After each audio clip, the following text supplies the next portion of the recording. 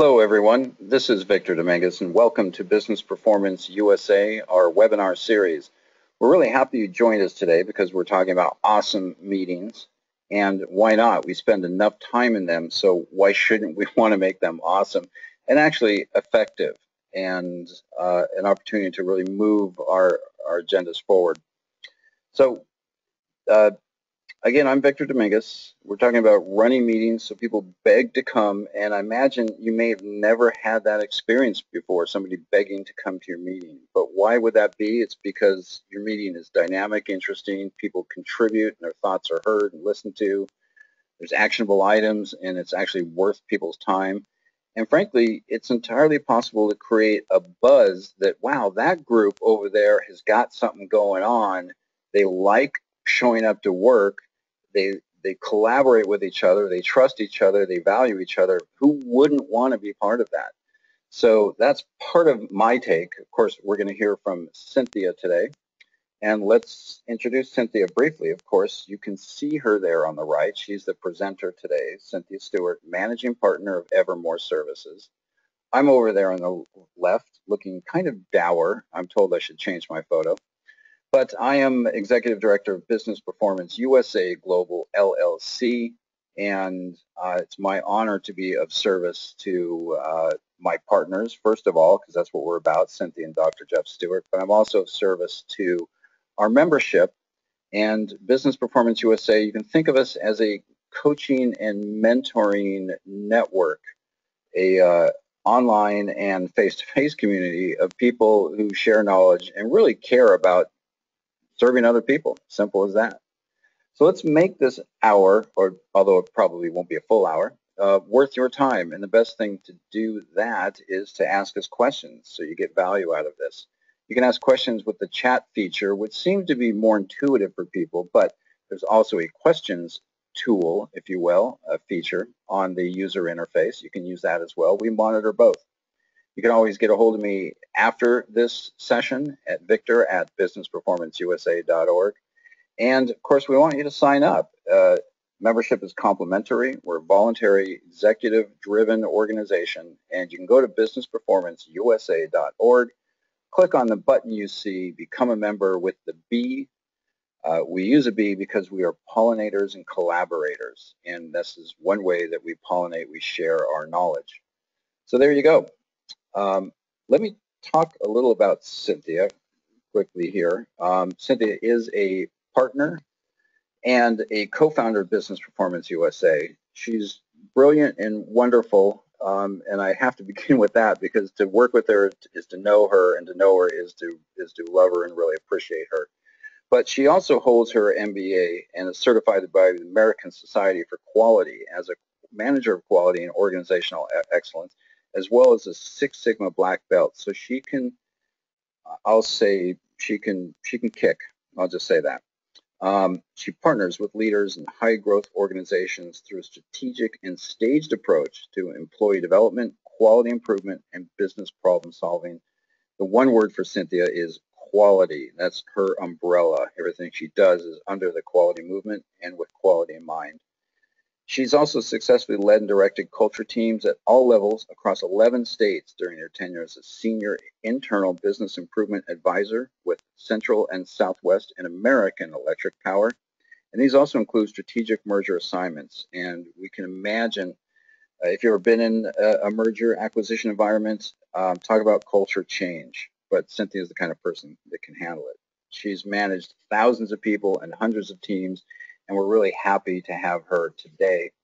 So Cynthia, let's uh, pass the screen over to you and let you do what you do best. We will be. Thank you, Victor. There you go. so now I'm kicking, am I?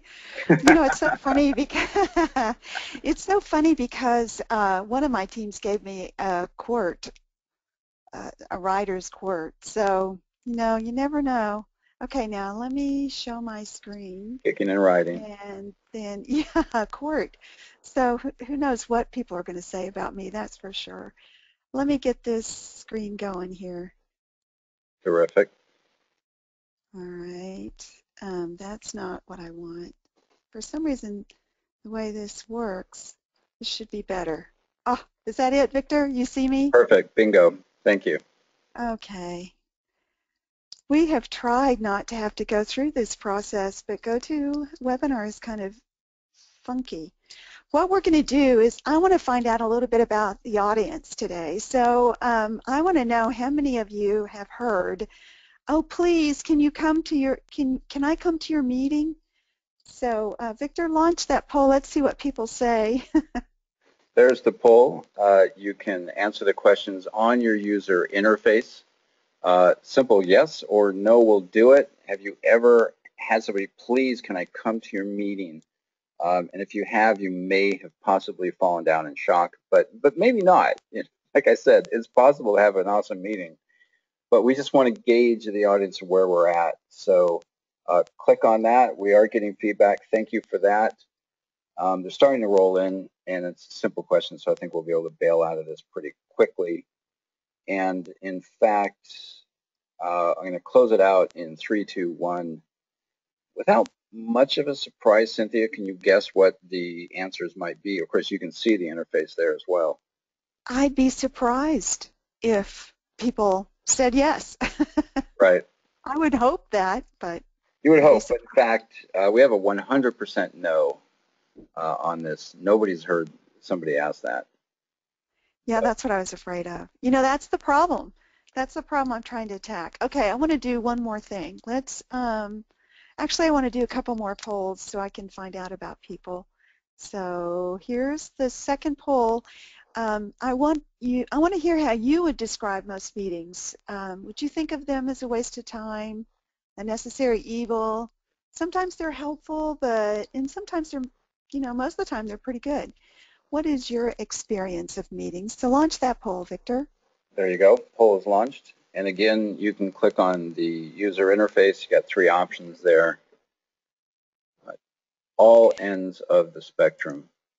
I put in there, by the way, these are things that I hear a lot. What I hear mostly is that it's a waste of time. And so, you know, maybe it'll be weighted that way from this audience. But right. I can't tell you how many people feel they're, oh my God, I've got another meeting. And I noticed that, um, you know, I, I, work with companies and I work with director and manager levels primarily, as well as executives. I, I work under leadership of the CEOs of the companies I consult with. Uh, and where I hear this is a lot in the middle management ranks, and I think, you know, they feel like they should be working, and they don't right. feel like they're working when they're not, you know, at their desks. I hear you. Uh, so yeah, we're gonna we're gonna the polls are coming in. There the activity is dwindling down. I'm gonna close this out in close to uh, three, two, one, and let's close that. Um, and let me articulate the the percentages here. We have uh, number one comes in at top 43% believe they're a waste of time, and that's astounding, given how much uh, time we spend in meetings it kind of kind of drops out uh, uh, in order here. Number two is the next highest at 36%. They're necessary evil. You got to do it, but necessary. Um, number three is 21%. They're sometimes helpful. So all in all, that's not too bad. Close to just over one fifth. They're at least sometimes helpful. Four is unfortunately zero. Um, nobody said they're mostly good, and that's why we're having this webinar today. Imagine the uh, drain on resources to have meetings that are never mostly good. Exactly. You know why I I'm really into Lean Six Sigma, so that's a waste. No that's a definite waste. Now I hate to bore our audience too much, but I just now I'd like to ask this one. You join this webinar because you want to get rid of meetings altogether. You want to tell others how to run awesome meetings you you're going to run a meeting but you don't know how or you want to run meetings and you want them to be awesome. So Victor? There it is. And we asked this poll in particular so we can know best how to help you both on this webinar and after the webinar because again we encourage you to reach out and go over some of the details. We're going to cover a lot of ground today. And feel free to bring in a specific situation. Email me or Cynthia. Um, we can even call on Skype it's helpful when you have a relevant situation that we can talk about. So go ahead and click there on your user interface. Um, tallies are coming in. Um, well, I was going to start giving you kind of a play-by-play, -play, but I don't want to taint the uh, feedback. We just really want to know how best to help you. So, Cynthia, I'm sure we're going to cover this. Uh, I'm going to give 10 more seconds, but what I find fascinating is sometimes in the same company that, uh, it could be a client, no names mentioned, people don't want to go to meetings. They think they're a waste of time. Yet at the same time, I hear people say there's not enough communication going on. People don't know what their role is, where they fit in. People were surprised by news and events. Uh, they find the part one team is working on the same thing they're working on.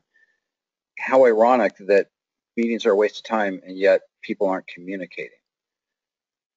So I'm yeah, gonna, exactly. I'm so gonna, we're, we're going to tackle those those today, I those topics. We're going to close out and thank you everybody for uh, voting. Closing three, two, one. And thank you for that. I'm going to read some results here for you. And uh, I'm going to start with the top, uh, the big winner here. Uh, poll number three. Number four is, number four comes in highest at 53%. So uh, there's a lot of managers out there and, and high-level executives that are already running meetings, but they want people to beg to come to their meeting. Um, my words, maybe not yours. Next is uh, number three at 34%. You're going to run a meeting, don't know how. My guess is these are uh, fairly new managers, and that's a really important audience to help. Number two in third at 13%. You want to be able to instruct others, so clearly that's a managerial role uh, mentoring, coaching others. And number one comes in at zero. Um, I guess that's pretty good. That's good. I mean, personally, I would love to eliminate meetings, but that's not realistic. So there you go, Cynthia. Well, it may have been different if I'd made this multiple choice. So I think everybody would have said, yeah, number one. And so, all right, so uh, let's hit the question. So why do we have to meet? And uh, I'm using this. Look at look at these football players. They are in a huddle. And it's really interesting to me that I've never heard, now maybe somebody else has, but in my uh, days of hearing about football, I have never heard anyone say they hate a huddle. They hate their football huddles. They wish they, they didn't have them. And uh, one of the things that I implemented when I was working for corporate America, and I often help my, my clients implement, is something called a huddle. And what's the deal with coming together in a huddle? Well, um, the, the words come together is the first thing. So when do football players come together in a huddle? Well, they do their pre-huddle, if you will, before the game, and then they come together in huddles during the game, and then at the end of the game, they'll come back to a huddle. Maybe it won't be a huddle, it'll be a meeting.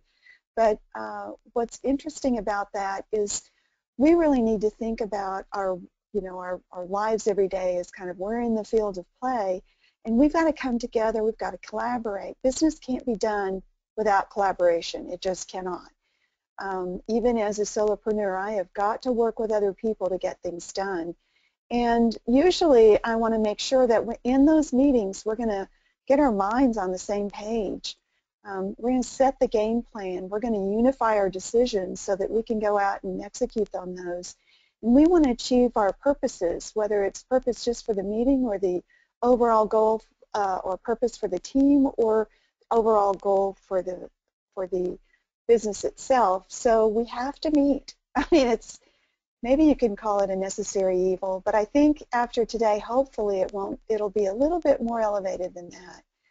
Um, what I came up with, I, I almost, Victor, I almost called this effective meetings, and I thought, yeah, I mean, effective meetings are really important, but to really get people energized around a meeting, I thought they've, yeah, they got to be effective. They need to run efficiently. Like we want to get in, we want to get out, just like a huddle. We don't have a lot of time on the field, so we want to make them efficient. But we want to get energy while we're meeting. We want to come away with, you know, a little electricity, a little be energized, and we'd like to get this, make this exciting and um, I ran many, I literally ran hundreds of teams across my uh, career with thousands of people and um, I got to where I wanted to make sure when they walked out the door they were really excited, they'd laughed, they'd had fun, and they were excited and ready to get, they were energized, ready to go. Um, so I'm going to share my four E's, Victor. Here we go. When it, when it comes to effectiveness, um, effectiveness is that whatever you're doing is well planned to achieve the purpose at hand. So if we're talking about meetings, there is no way to make an, a meeting effective if there isn't a particular, like a huddle, we know in a huddle, a football huddle, we know what's going to happen. We're going to put our heads together for the moment. We've got the, the game board up there. We know who's winning the game. We've got a better sense about our opponent, and we know what uh, passes, what plays they're going to do, how we, we've got to figure out how we're going to beat them if we're, or how we're going to maintain the lead if we're in the lead. So we know getting going into a huddle the kinds of things we're going to be talking about. Um, this is something that I've learned from Jeff Stewart, Dr. Jeff Stewart, and it's kind of a simple way to plan a meeting. Who needs to be there? Why are you having the meeting, really? And what, what process are you going to use to achieve that purpose? So, and what are you going to walk away with? So participant, purpose, process, and payout. That's One good. Things, I, I often think of payout as uh, I like your four Ps, but w- what is the outcome? What's going to make this meeting successful? And in a huddle on a football field, you, it's understood what the outcome is. We're going to get a first down. We're going to put the ball in the right position to kick. We want to kill the, you know, kill the clock. We want to save the clock. I mean, everyone understands the outcome that is desired, which is your payout. Yeah, so I go um, meet a new client. We're, we're meeting with a client this afternoon. This is this is my it's what I have planned. Um, I didn't put their name down, but basically we're going to go explore opportunities to work together, and they know that's what the purpose is. And um, you know, we're going to see how we can engage business together, so they know what that that's what's coming. And um, in this case, we know each other, so you know, it's really it's not no, so much an introduction. But at the beginning of a meeting, you always want to make sure to give people a chance to get into the room is what I call it. So that getting into the room, that may be an introduction of yourself. Maybe it's a catch-up, like what's been happening since we last talked. You know, what what's newsworthy, uh, getting ready for that. Um, but get let people get in the room. A lot of times I like to go around, if it's a brand new meeting, you're going to have to have a little bit of an icebreaker. I like to make sure that people go around and get a chance to um, say three things with their name, their job, and what they hope to get out of the meeting is very simple. There are other things you can do, but you need to get people in the room. So the first thing you do is, is do a little bit of a warm-up and let people talk.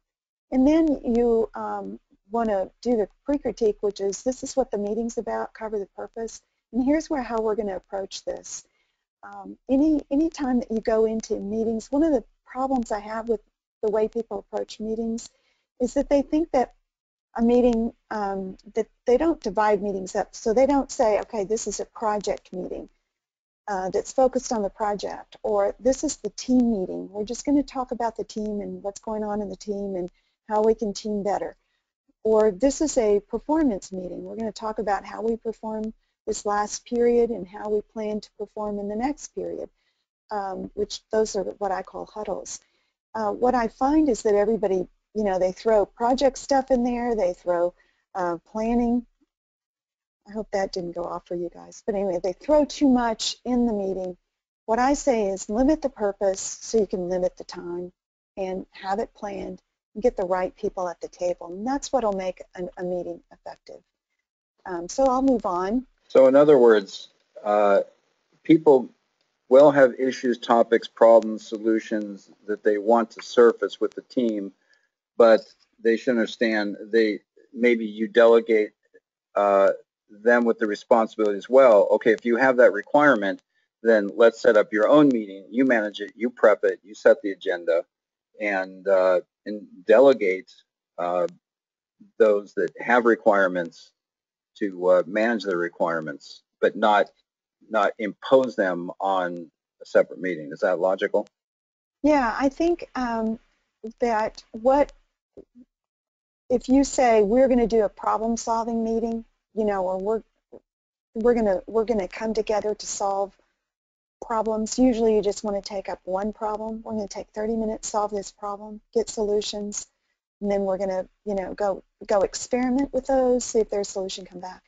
What a lot of people have tried to do is they they get into, um, you know, rabbit trails. Um, they start talking about history. They start telling how bad it is. They, you know, they do everything but what they really need to do, the business at hand.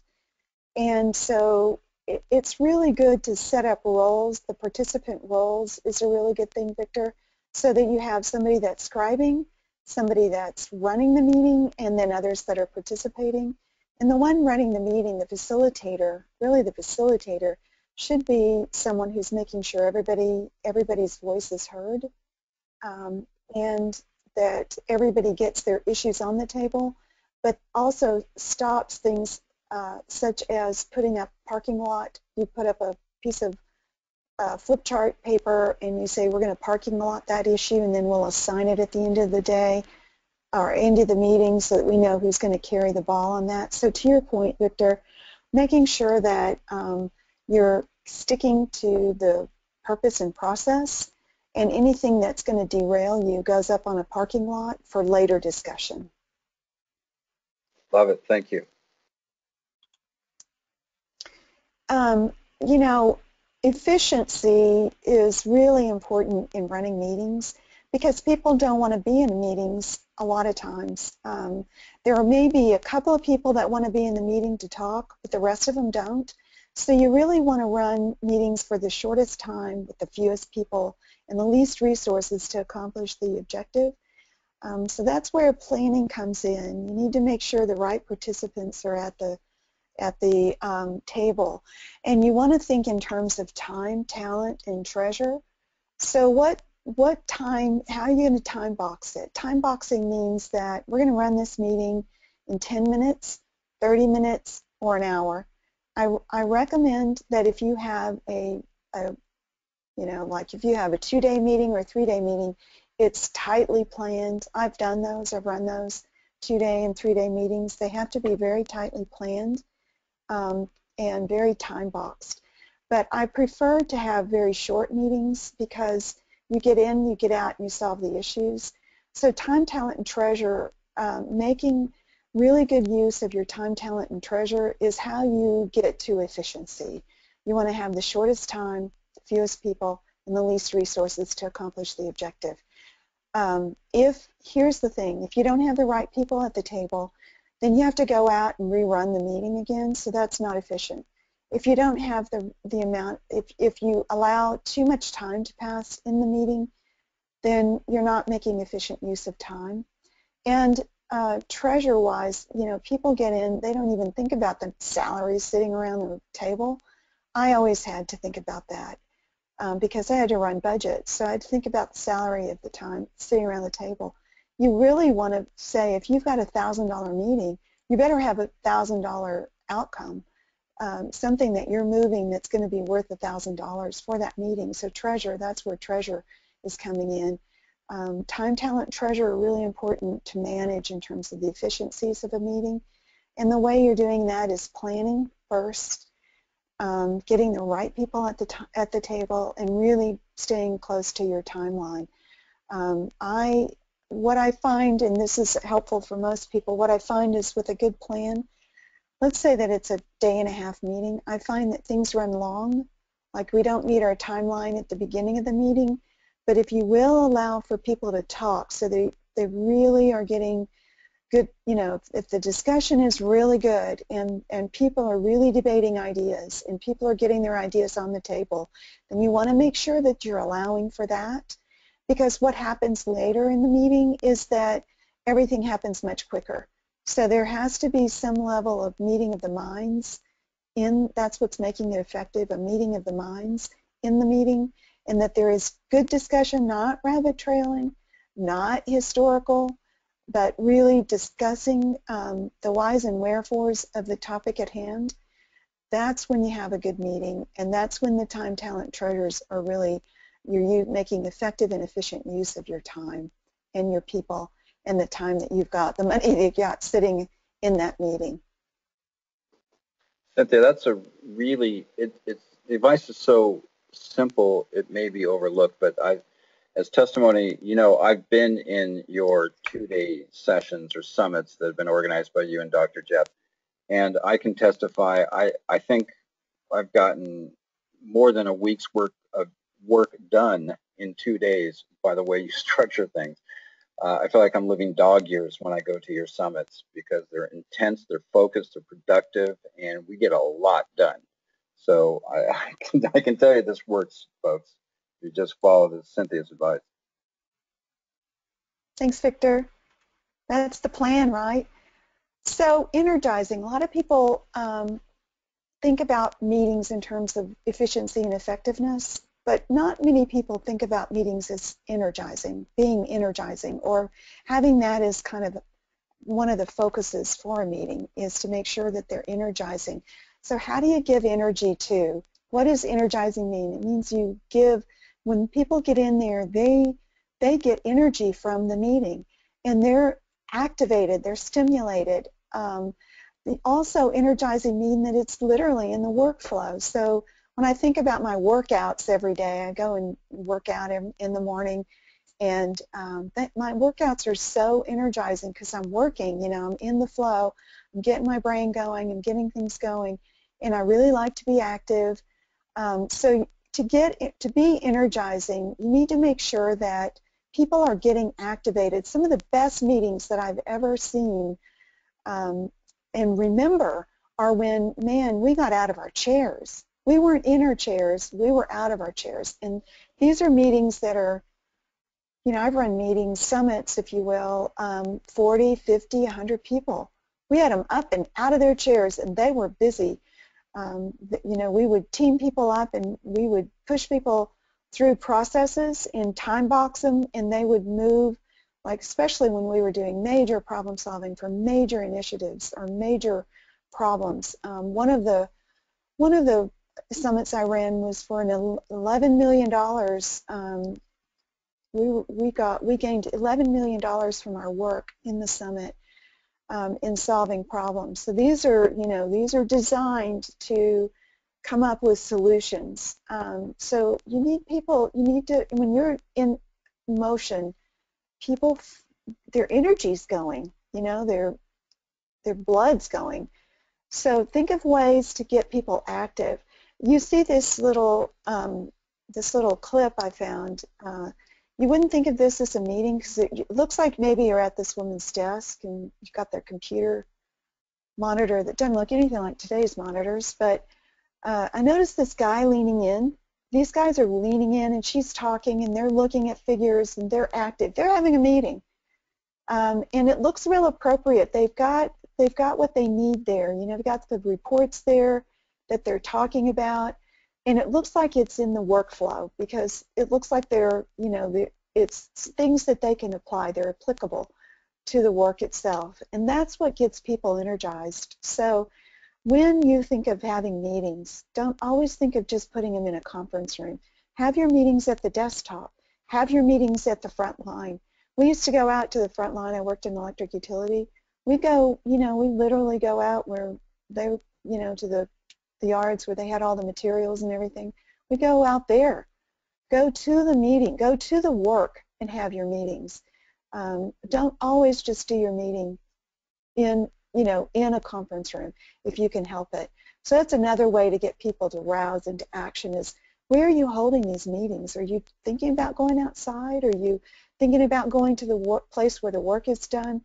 Go to the work itself and then it, um, it gets people up and out of their chairs and gets them active. I think some of the meetings that I have, like I said, are those that are in the workflow at the meeting site, I mean at the work site, and we're meeting and you know we get together, we talk, and then we go work on something, experiment with something, and we get together and talk. Some methods that are like this are the Kaizen, which is out of the uh, Japanese um, Toyota plant where people are in the workflow and they're solving problems in the work, testing it, solve, you know, coming up with a new way to test, you know, new solution, test it. So to get people energized, you want to think about how that meeting, where does it need to move to to be energized, to get to be active, to be appropriate, and to do things that are applicable to the work. Um, so those are my suggestions on energizing your meetings. I like that, Cynthia. We uh, get people up at the whiteboard. We even have a habit of uh, getting clients to up and out of the chair and walk over to the whiteboard and hand them markers to write on it. Get getting people out of your chairs uh, is remarkably robust for a meeting, and uh, so feel free to do it with clients, with anybody, with vendors, clients, customers. Be be active. Great advice. Simple but great. Yeah, um, when they lean in, when you see them, their body language leaning in, you know you got them. So when they're up and they've got a pen in their hand or a piece of sticky note or, you know, that, or they're, you know, they've got their reports, they're ready, um, they're leaning in, so to speak. That's, that means that they're, they're getting into it, um, they're getting active, and it really helps to rouse the action that comes out of the meeting. That can be very energizing. All right, I can't believe we're already at the fourth thing, but exciting. Um, what makes people excited? Well, you know people are excited when they raise their voice, when when they are aroused to laughter, when they are, um, you know, when ideas are stimulating and they're provoking, and when they're getting results. So I think about it this way how can you add that element of playfulness? Um, some of the ways that I've added the playfulness is I make sure people have markers and white paper and, you know, they can doodle or color. Or um, I've even given people, people Legos. I give people balls to throw at each other if they don't like what each other said or they think it's hilarious. Um, so think of ways to make your meetings playful. I've done, you know, all kinds of things to really get these meetings playful when you get people into that playful mode, they're less likely to argue and they're more likely to be stimulated with ideas. Um, so you, you do a little bit of playing and drawing and Legos and whatever you can think of that's good for your company culture. Um, but then you provocative. We want to have our meetings be provocative. We want to stimulate ideas. You can do that with well-placed questions. You can do that with you know, what do you think about this? Um, how would you solve this problem? This is a problem. How does it make you feel? What would I like to tap into the emotions a lot? What's your best? I one of my questions is, what's your worst nightmare around this, or what's your your uh, best dream around this? So provoke emotions, um, stimulate ideas, ask questions is a great way to do that. And then, you know, getting people up and working together on the issue. I love to have laptops in the room for our meetings. I bring a laptop myself. Um, I like to get people scribing or either on a flip chart or in a computer taking minutes, you know, giving everybody a role, making them feel like, you know, this has really been a productive meeting. We've come to some solutions here. People like to be productive. They like to make, they like to solve problems. I should have added that. It's, it's exciting to solve problems. So problem solving can be real exciting um, to get results. So uh, to get excitement, you know, people want, they want to have fun. So don't ever forget that element. Be sure to ask great questions. I, I know the well-placed questions really get people, you know, stimulating, get stimulate the conversations in the problem solving. And then um, you know, have people writing things down and participating so that they're feeling like, well, we're getting the results. So I think with these tips, um, Victor, I want to, I'm going to sum it up. Anything else? Uh, a couple of things. I, have got a couple questions here. One is about uh, social communication styles. The other is how to accept an idea um, that may or may may not be in target. Maybe it's half on target, but you know, listening to someone's ideas, allowing them to surface it, um, and then when should one? And now I'm getting to the question: When should one critique uh, an idea and either approve it or shoot it down? Uh, is the question. So the, the two questions. First is can you tell us about social communi communication styles which is, you know, people's personal delivery and how others respond to it. And second, how should one uh, listen to, validate, and uh, incorporate ideas or not? Okay, um, technical. These are very technical questions, uh, great questions, and uh, I the social style. I'm studied in something called Wilson Learning, which is all about social communication styles. Very helpful that I have that training because I can observe the room and see who's not speaking up, who's speaking up, and who seems to want to take command and control, and who who seems to want to direct everybody, versus um, who wants to know the facts about the situation. Do you have any data on that? Would be the thing, or uh, somebody who seems to be real concerned about the people in the crowd. Well, so-and-so hasn't had a chance to speak, you know, or somebody who is going, this is great stuff. Come on, guys, let's let's go do this. Um, so you can tell a person's social style and social communications based on the nature of what they're saying, if they're asking questions or telling people what to do, if they're focused on the, the task itself or they're focused on the people in the room. So um, what I like to do is kind of observe, let I, I am basically a master facilitator, so I like to observe the way that people are interacting and then then I can draw out people that aren't speaking. I can have those um, that are speaking perhaps too much um, to take a step back and ask them to, thank you, we appreciate that. Let's let so-and-so, let's hear from so-and-so. You know, so, so having a facilitator, by the way, guys, to help you with meetings may be the way you want to go. Uh, don't underestimate the value of a facilitator. That's what one of the directors, I told him, you know, I can do a whole lot more than facilitate. And he said, yeah, but don't underestimate the value that you bring as a facilitator. Um, so to get to your point, Victor, really important to manage in a way that's constructive and affirming those different social communication styles and just being observant by simple things like so and so's not talking let's let's ask that them what they think. So and so is talking too much let's ask them to um, defer to this person who's not talking. Let's you know thank you for that but let's talk to this person. Are great ways just to make sure um, that you get everybody's voice on the table. And then the second question was very technical as well um, and if you're doing problem solving or you're doing, you know, anything that you're getting, trying to get ideas, the first thing you do is brainstorm, but you don't let people critique a brainstorm. You just let the ideas flow. And then um, once they flow then you go into what's called a culling session. Culling means that you're going to now really think through brain, the brainstorm, the, the ideas and suggestions that people have. And um, when you do that, simple way to get you know ideas on the table take each idea and say what are your what do you think are the pros and cons of this idea? But first get the person who put the idea out there to explain it a little further so everybody has understanding and then do pros and cons.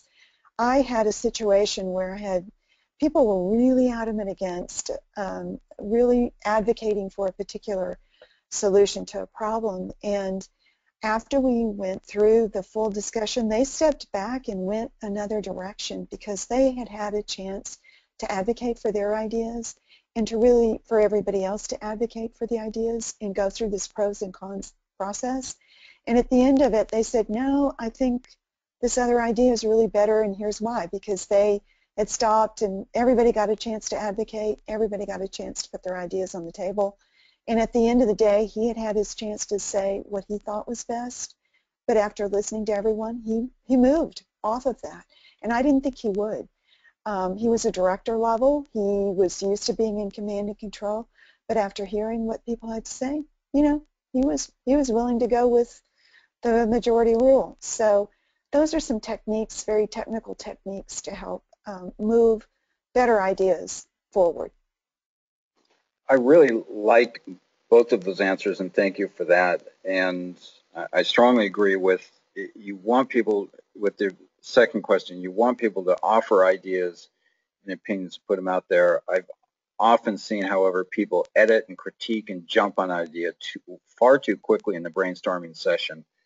Um, it doesn't really honor the person that had an idea. And even if it's just a bad idea, let it just let it float out there, like you said, and give it some time. Um, that time helps the person feel comfortable and safe in offering ideas, and that time also allows people to maybe step back from their biases of way it's always been done, and, and sometimes the resistance of a new idea, and and they themselves will readjust and become more open simply by allowing time, uh, you know, themselves to nurture and process and be okay with a new idea. So great input. Thank you, Cynthia. Welcome. Um, I'm looking for other questions, and this is certainly an ideal time to ask additional questions. Of course, you may ask more uh, by email, but uh, are we wrapping this up, Cynthia? Where are we at? Yeah, we're at the last slide, Victor. Let's do it. So I'm in wrap-up mode. Okay, so four E's of effective meetings. Um, I hate to say it, but effective is number one. And don't forget that that's all about the planning. Um, the time you put in before the meeting pays off. So you want to get that payout. And you want to make sure that um, when you have any kind of meeting, that it's really effective and that uh, there's a good, the right participants are there. You've fulfilled the purpose by using the process you laid out and the payout. People are, everyone got the payout. When it comes to um, efficiency, make sure that you're considering time, talent, and treasure. What talent do you need to do to have at the table?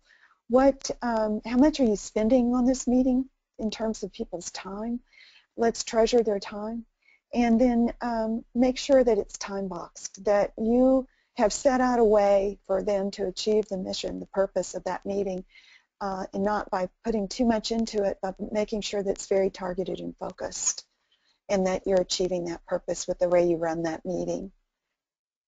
And then make them energizing. Get people out of their chairs, meet in uh, other ways. Um, uh, make sure that they're they're playful, um, that people are active, and um, they're that you're bringing the appropriate discussion to the table, that you're not letting people side rail it with rabbit trails or too much history or too much of the wrong kind of information that's really not appropriate to the task at hand.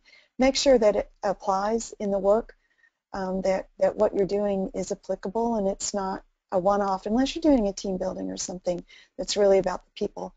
Um, that, you know, energizing means that, man, you're stimulating these ideas and you're getting people active and um, we feel like we're getting results. And then making sure that it's exciting with um, making it playful, thinking about how you can make it playful, make it provocative, and make it um, really productive. So those are ways to have, those are some four E's of awesome meetings.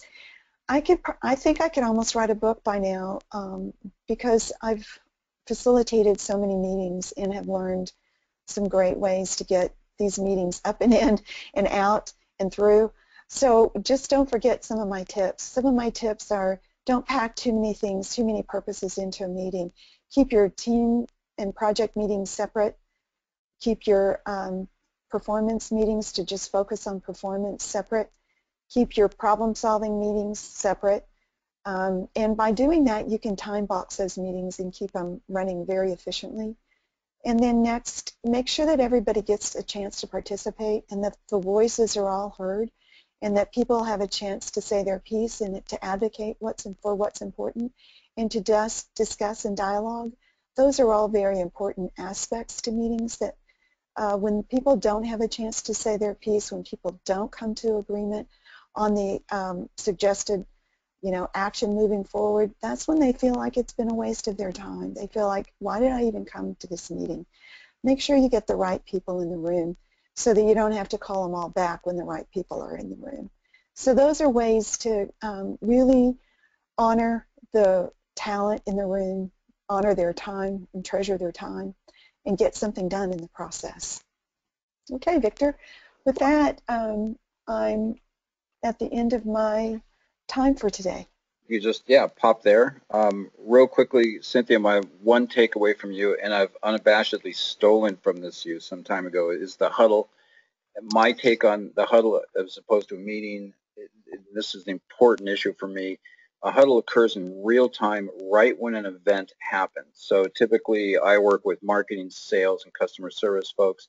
If an event or an issue, an, an obstruction or something less than ideal or a problem occurs in any of those groups, let's say the IT guy can call a huddle, marketing and sales show up because they have input, they stand at the desk, it's a five minute huddle, the whole thing took 10 minutes, including you know walking time to get there and it was highly effective. It was real time. It was focused on identifying the root issue, so, um, proposing a solution. That solution is implemented right there, which puts you into a uh, testing mode.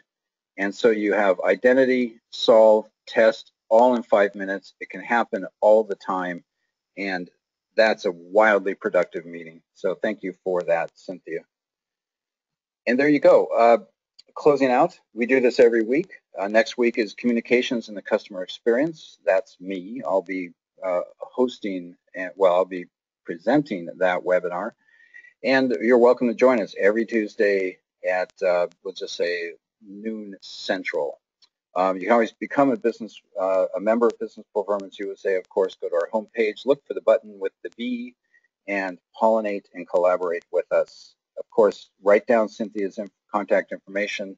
There's the phone number, there's the email address, and better still, you can watch this webinar on our website if you become a member, member on demand. You can start it, stop it, make notes, and really break it down to make it useful for you and actionable for you. And a lot of people do that. They watch videos on our website, and then they can communicate to me, uh, ask questions, communicate obviously to others, and I will either answer the question or delegate that question to Cynthia.